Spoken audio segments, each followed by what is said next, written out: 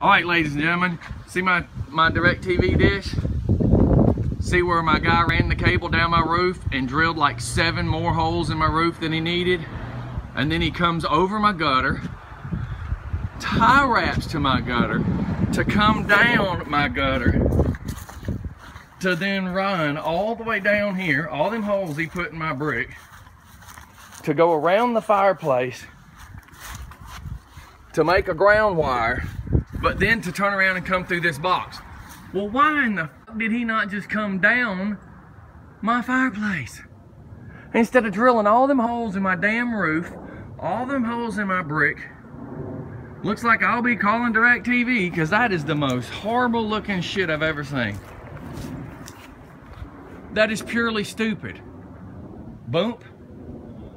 Instead of drilling all the holes in my roof to do that and come over the front of my gutter, look like shit right there, I'm blown away. Completely blown away.